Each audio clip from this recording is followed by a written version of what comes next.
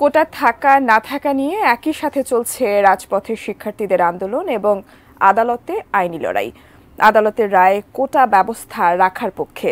অন্যদিকে আন্দোলনরত শিক্ষার্থীরা বলছেন, এতে সাংবিধানিক অধিকার থেকে বঞ্চিত হচ্ছেন চাকরি প্রত্যাশীরা। সংবিধান বিশেষজ্ঞ বিশ্লেষকরাও বলছেন একই কথা, যেখানে সর্বোচ্চ আদালত সংবিধানের অভিভাবক, সেখানে আদালতের ভূমিকা নিয়ে কেন এই সংশয়? কোটা নিয়ে সংবিধানই বা কি বলে? বিস্তারিত ইমতিয়াজ আলমের রিপোর্টে।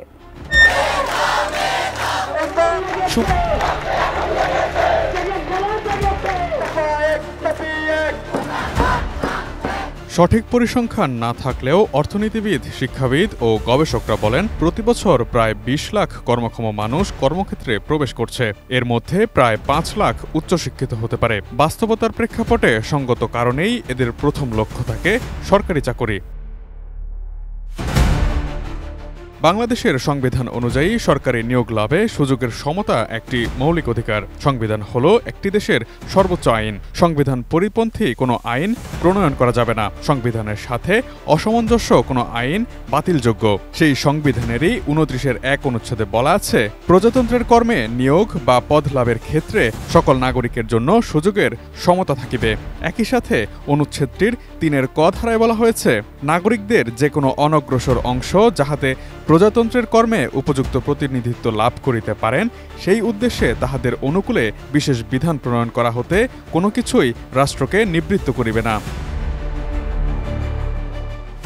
কিন্তু এই অনগ্রসর বলতে কোনো নির্দিষ্ট শ্রেণি, পেশা, অঞ্চল বা বর্ণগোত্র কারও কথাই উল্লেখ নেই সংবিধানে। বিদ্যমান কোটা ব্যবস্থায় সেই অনগ্রসর শ্রেণীতে মুক্তিযোদ্ধা ও তাদের সন্তান এবং নাতি নাতনি নারী, জেলাভিত্তিক কোটা থাকার যৌক্তিকতা নিয়েও প্রশ্ন বিভিন্ন মহলে।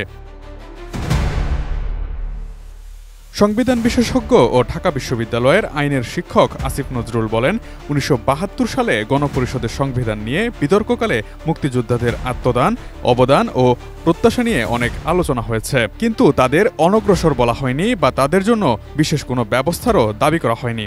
তবে সংবিধানের পনেরো অনুচ্ছেদের অধীনে নাগরিকদের সামাজিক নিরাপত্তা প্রদান প্রসঙ্গে পঙ্গু ও নিহত মুক্তিযোদ্ধা পরিবারের কথা বিশেষভাবে উল্লেখ করা হয়। উদারভাবে ব্যাখ্যা করে আমরা তাই হয়তো সঠিক তালিকার ভিত্তিতে শুধু পঙ্গু ও নিহত মুক্তিযোদ্ধা পরিবারের জন্য সরকারি চাকরিতে কোটার কথা ভাবতে পারি।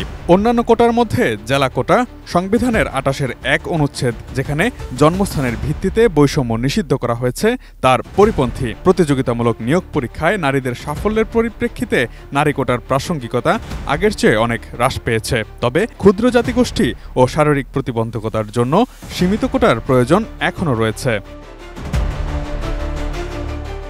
কোটার উদ্ভবটাও হয়েছিল স্বাধীনতার পর বিশেষ প্রয়োজনে ও সীমিত সময়ের জন্য।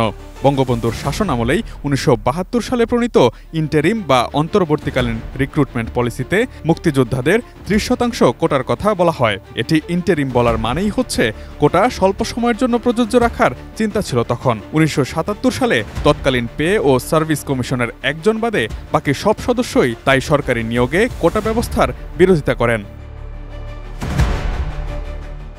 নবম থেকে তেরোতম গ্রেডে সরকারি নিয়োগের ক্ষেত্রে কোটা ব্যবস্থা বাতিল করে দু হাজার আঠারো সালে পরিপত্র জারি করে সরকার। সেই পরিপত্রের বৈধতা চ্যালেঞ্জ করে দু হাজার এগারো সালে হাইকোর্টে রিট করেন চাকরি প্রত্যাশী ও মুক্তিযোদ্ধার সন্তান ওহিদুল ইসলাম সহ সাতজন। গত পাঁচই জুন মুক্তিযোদ্ধা কোটা বাতিলের পরিপত্র অবৈধ ঘোষণা করে রায় দেন হাইকোর্ট।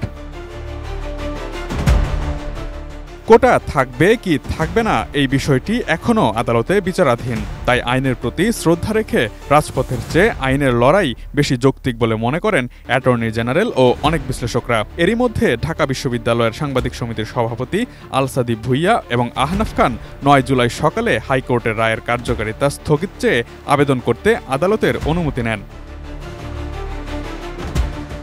কোটা প্রশ্নে নয় জুলাই মঙ্গলবার বেলা সাড়ে এগারোটায় আপিল বিভাগের চেম্বার বিচারপতি মোহাম্মদ আশফাকুল ইসলাম শুনানির জন্য দশ জুলাই বুধবার দিন ধার্য করেন। শুধু এই মামলার শুনানির দিন ধার্যের জন্যই বেলা এগারোটায় চেম্বার বিচারপতির আদালত বসেছিলেন। এখন অপেক্ষা দশ জুলাইয়ের শুনানিতে রায়ের অপেক্ষার দিকেই।